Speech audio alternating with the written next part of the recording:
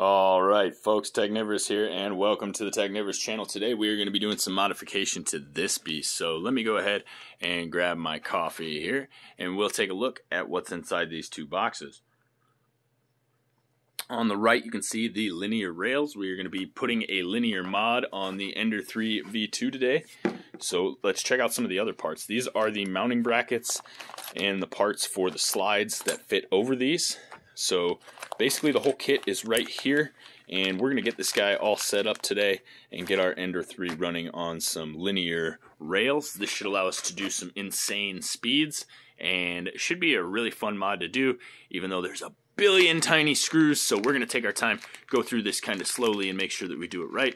And I'm very very interested to see how this turns out because this will be my first linear rail printer. So um, I'm very, very interested in the high speed capabilities, especially with this particular machine. It's already a fantastic machine, and I think that with higher speeds, it could be a very, very high throughput machine, pump out a lot of models for me accurately and reliably. So we're going to jump right into this mod right now. Stay tuned. Hey folks, Technivorous here. If you haven't already, make sure you hit that subscribe button, but stick around because today we're going to be talking about some pretty interesting stuff I don't think you're going to want to miss. And here are all the pieces in all their glory. So over here, like I said, we have the linear rails. We have two for the Z, one for the X, and one for the Y.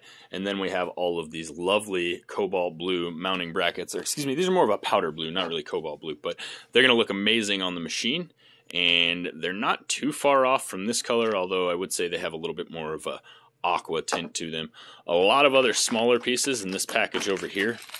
Um, so I'm going to keep those together until I need them, and we will be going through the process of putting this thing onto the printer following a guide that they have online. So let's jump over and check that out and see what the first step is for getting this linear kit onto my Ender 3 V2 here.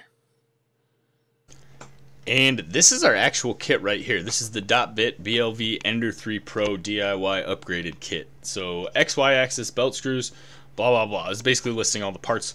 The name is ridiculously long. I will have a link to this so you don't have to search for all of that. If you want to try it out, I definitely recommend it because as I am finishing this mod, I am seeing some definite advantages. And actually, let's jump on down to the bottom of this page because the installation guide is in here as well.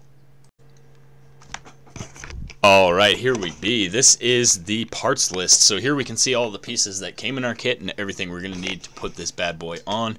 Let's scroll down a little further and see what the first step is. It's going to tell us about the bed setup.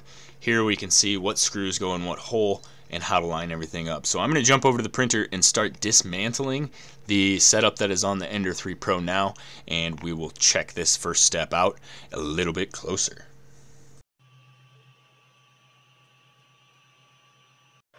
Alright, here it is, our first print with the linear rails on the Ender 3 V2. As you can see, most of the structures came out alright. There is some serious stringing going on on the corners, but I'll explain that in just a second. What I'm looking at to alter in this particular print, especially, is the vibrational ringing. You're seeing both back and forth and left and right. And in order to do that, I tightened up my belts here, and we are printing another copy. Now, as for that stringing, you'll notice that this part cooling fan isn't even actually hooked up. There's a gap there uh, it's getting enough flow to print the model, but I do need to print a part to close that gap and get that air flowing out where it, where it needs to before I will get rid of that stringing issue. So I'm not too worried about that now since I know exactly what is causing that problem. I wanted to get this banding and, and vibration ringing taken care of. And if this one comes out a little bit better, we'll move on to the next step of printing that piece that goes in there to fill that gap. All right, and as you can see, we got the fan on there. We are now running with full cooling. We're gonna print this test model and see how it comes out. This is just a little pawn, and it looks like uh, everything is flowing pretty well on the linear device here. And we will take a close-up look as soon as this finishes up, and I'll show you some pictures and we'll get some detailed looks. So. And as you can see, I have my linear rail Ender 3 V2 cranking away here. One of the reasons I wanted to do this upgrade is because you can get some seriously fast speeds without sacrificing in quality. Now, right now, I have the speed turned up to 300%. That is going to bring it to its firmware max of 150 millimeters per second. That's how fast we're traveling right now. In order to go any faster than that, I can increase the percentage all I want, but on this machine, I'll need to update the firmware in order to get faster speeds. I don't think I'll be doing that. I think uh, the speeds that I'm getting from this right now are very nice. We'll have to take the model off and decide whether or not we think we can go faster without sacrificing quality. So after the model is ready, we'll take a look and see what our results are. I also have a couple other models that I, or a couple other copies of this model that I printed both before the Ender was done and on another machine, so we can test and compare uh, and see if this upgrade was really worth it for the Ender 3 V2.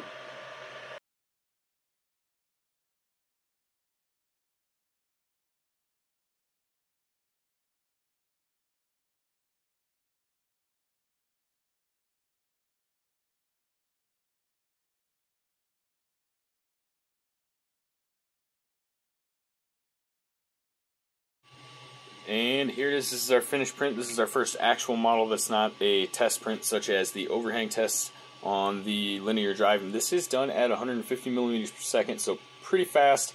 I'm not going to increase those firmware parameters because, as you can see, there are a few minor defects on here. But for the speed that it was printed at, it came out really, really nice. I am very, very happy with these results. I think we'll stick with this mod and see if we can make some minor tweaks to the profile and dial this in just a little bit more. But uh, yeah, super, super quiet with these rails on here. Super, super fast and very, very smooth and accurate as you can see. So definitely worth checking out the upgrade. I have an affiliate link down below. If you click on that, it helps sponsor the channel and we appreciate that very, very much. And definitely stay tuned, subscribe, leave a like. If I hit 50 likes, or excuse me, 100 likes on this video, I will do uh, I have video from the assembly. I can edit together a dedicated assembly video in order for you to figure out exactly how I did this because this is an Ender Pro kit and this is an Ender 3 V2. So I did do a little bit of modification. Obviously, I had to go with an Ender 3 Pro hot end fan. That's why the original case isn't on there. Um, but I had to modify that to fit the fans from the Ender 3 V2. So very, very easy, very simple. I'll have that model available in a couple of days. It needs another little tweak just to get the back end to sit a little bit better and seat that screw where it belongs. But it's functioning very, very well. That's going to be it for this one, guys. Thanks for watching. We'll see you in the next one. Stick around, guys. I got another YouTube recommended video for you right here. And if you haven't already, subscribe, subscribe, subscribe. Make sure that you smash that like button. We'll see you in the next one. Technivorous out.